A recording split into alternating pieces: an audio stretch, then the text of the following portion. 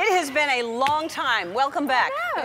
So happy to see you. So it's been 14 years. That is a long time to take a break and not. I mean, obviously you've done some traveling, some music, but first first album in a long time. Why?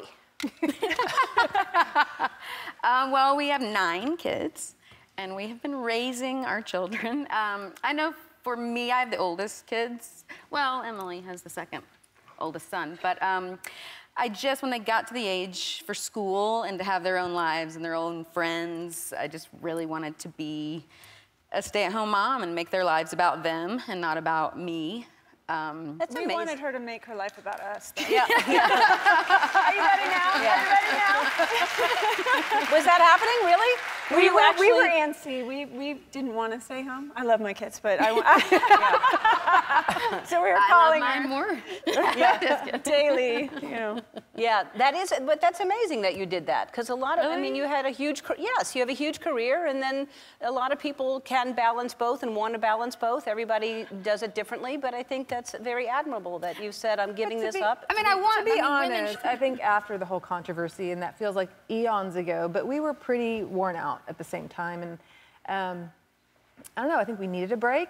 Maybe not 14 years, but we needed needed to get mad again and have something to write about. Yeah, but haven't you been mad for a while? I mean, I've been mad. That's the I've been mad. perception. That's the perception. But I mean, so that is weird. So 17 years ago, right, is when this happened, when you were blacklisted for just speaking out and saying something that, I mean, right?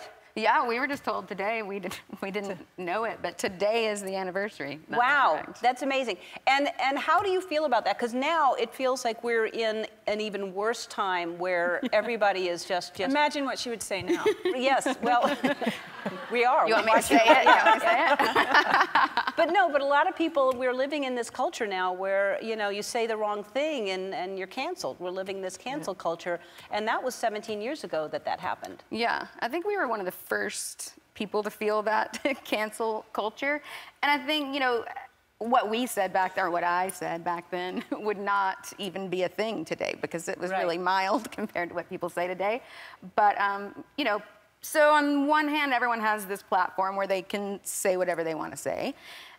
But on the other hand, this platform can move really quickly and, yeah, Yeah. ruin people's lives. Yeah, it's, and it's, it's sad. I think we need to get back to where we all just celebrate our differences and we all have different opinions and it's okay to have strong opinions. As long as you're not hurting somebody else, you can speak your opinion. Are you going to run for president? Uh, Seems like a great job.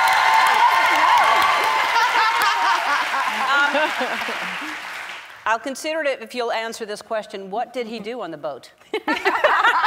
Who?